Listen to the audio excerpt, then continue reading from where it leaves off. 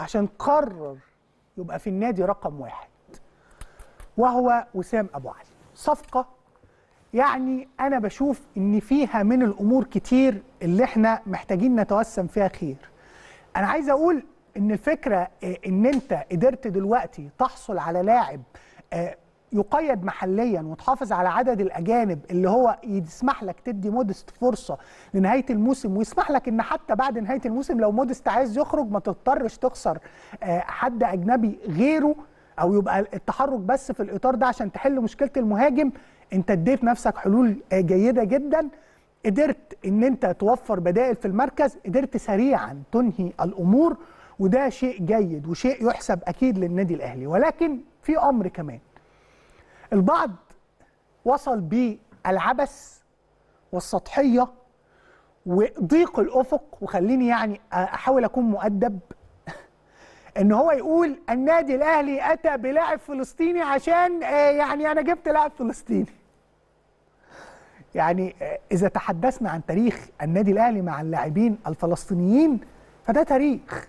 يعني آه، مش عايز بقى أقول من أول يعني العظيم مروان كنفاني لحد رمزي صالح مرورا آه، آه، بلاعبين آخرين.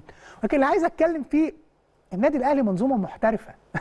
أنا مش عايز أرد عليك بقول لك أصل إحنا جبنا فلسطينيين قبل كده. لا نادي الأهلي منظومة محترفة.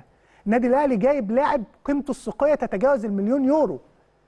النادي الأهلي جايب لاعب أرقامه التهديفية جيدة جدا. النادي الأهلي جايب موهبة يقدر يراهن عليها. النادي الأهلي جايب لاعب بيلعب في أوروبا. فالنادي الأهلي ما جاش جاب لاعب من أحد الأندية الفلسطينية المتواضعة يقول له تعالى عشان أنا أكرمك وأحط فكرة إن أنا جبت لاعب فلسطيني. أي عبث البعض يتحدث بيه. نادي الأهلي المنظومة المحترفة اللي لسه كنا بنتكلم أنا وأسامة من شوية في حتة إشادة أنفانتينو باحترافية المنظومة.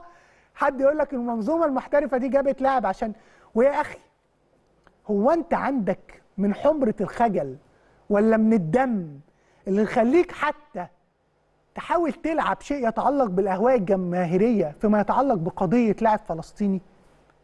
هو مفيش حياء للدرجة دي. هو في وش مكشوف للدرجة دي. هو المزايدة رخيصه للدرجة دي.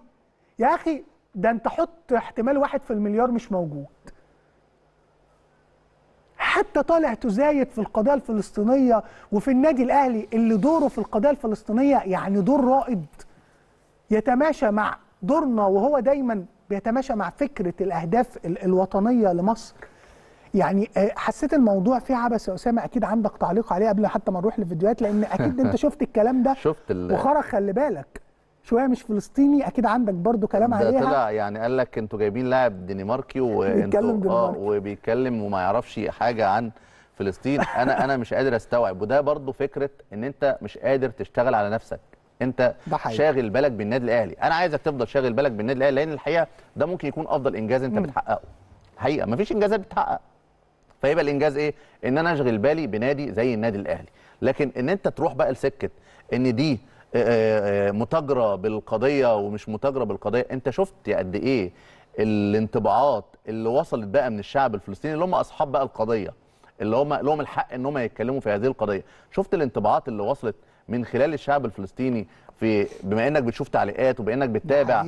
آه، ردود أفعال ال- ال- الشعب الفلسطيني في عز الألم وفي عز المعاناة في ضوء أمل في حاجة بالنسبة لهم للنادي اللي هو والله أكتر من نادي عندهم باعترافاتهم بكلامهم اللي الحقيقة بيبسطنا جدا و... ونتمنى نتمنى يكون جزء بسيط من حق تخفيف المعاناة فقط لا غير إن يكون النادي الأهلي ده دي مسؤولية النادي الأهلي الحقيقة ومسؤولية كل فرد بيعمل في منظومة النادي الأهلي. ودايما النادي الأهلي قايم بالدور ده ودايما بقولها من قبل 48 ودور المسؤولين وكل فرد في منظومة النادي الأهلي واضح جدا دعمه للقضية الفلسطينية. وبنتشرف بده وبنفتخر بده الحقيقة.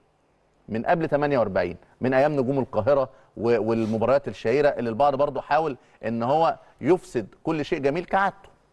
هو اعتادوا على كده. هي جينات بتتوارث. تعال نفسد كل ما هو جميل. طب إيه هو كل ما هو جميل في الرياضة المصرية؟ هو النادي الأهلي. ما قول لي أنت في إيه تاني في الرياضة المصرية؟ ودايما بقولها. على مستوى الأندية النادي الأهلي. على مستوى اللاعبين بره محمد صلاح. يعني هم دول اللي عاملين شكل للرياضة المصرية. فطبعا كان كلام عبثي جدا عن فكرة اللاعب أعتقد هيكون في رد من الجانب الفلسطيني عن فكرة تعاقد النادي الأهلي مع اللاعب اللاعب اللي ممكن نستعرض أرقامه عشان تبقى فاهمة الناس إن إحنا جايبين لاعب له أرقام جايبين لاعب محتاجينه بالفعل بعد بحث ما ليه ما رحناش جبنا اي لاعب فلسطيني في أي مركز وخلاص لا لاعب الحقيقة له 177 مباراة مسجل 74 هدف. أيوه اسامه آه مسجل 74 هدف ومساهم في 14 هدف. يعني ده رقم جيد جدا يعني يناسب احتياجات النادي الاهلي نتمنى له التوفيق لأن في النهاية أنت بتجيب الصفقة آه، تبعا لاحتياجاتك الفنية. الأمر بيتوقف بعد كده على الملعب على الانسجام مع زملائه على التوفيق من عدمه لأن أي صفقة يعني شفنا صفقات كتير بتكون احتمالات نجاحها كبيرة جدا ولكن بيبقى في بعض الأوقات غير موفق. وصفقة تانية تبقى شايف إن هي ممكن تيجي تاخد وقت على ما تدخل الفريق فتلاقيها من أول يوم الترس شغال. وعندنا مثال في مروان عطية.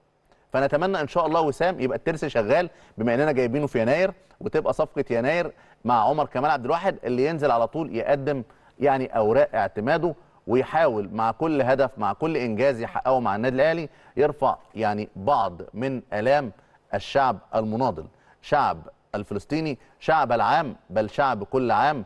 إن شاء الله بإذن الله يكون وسام فارس يعني يحاول يدخل البهجه على قلوب. أنا عارف إن أي لاعب أهلاوي هيسجل أو هيحقق حاجة دي ممكن ترفع بعض الآلام عنهم ولكن في النهاية برضه لما يكون لاعب طبعاً. يعني ابن بلدك ده موضوع طبعاً. مختلف تماما. طبعا. وشفنا أيام وجود رمزي صالح كان دايما يحكي قد إيه يعني الشغف اللي موجود بالأصل يا جماعة. وأنا بيجي لي رسائل كتير جدا من من أهلنا في فلسطين دايما يتكلموا في فكرة إن إحنا يا جماعة عندنا يعني آه، مشاهدات وشغف النادي الأهلي. أنتوا بتتعاملوا إن إحنا يعني دولة فيها ناس بتحب الاهلي القصة مش كده إحنا زيك. يعني أنت أنتوا يعني دايما الناس تكلمني أنتوا مش واصلاكوا قوي. يعني بنحسها في الكلام اللي هو مثلا زي ما تيجوا تقولوا والله تونس بيتكلموا حلو عن النادي الأهلي زي ما أنتوا بتجيبوا في ال- والله يا أسامة كان لسه حد آه. بيناقشني الفكرة دي. أنا بس هو في خلط بسيط. أنتوا مثلا تقولوا أحيانا الناس في تونس بتشيد بالأهلي وبعدين تقول الناس في فلسطين بتحب الأهلي. القصة مش كده. يعني إحنا آه، عايشين معاكم الأهلي بتاعكم. بالظبط التعامل بتاعك قياس آه، إن إحنا بالظبط. ناس من دولة تانية هي بتشيد بالأهلي. يا عم إحنا أهلاوية زيك. ما تقولش إن أنا بشيد بالأهلي وكأنه استثناء. فده كان شيء رائع يعني.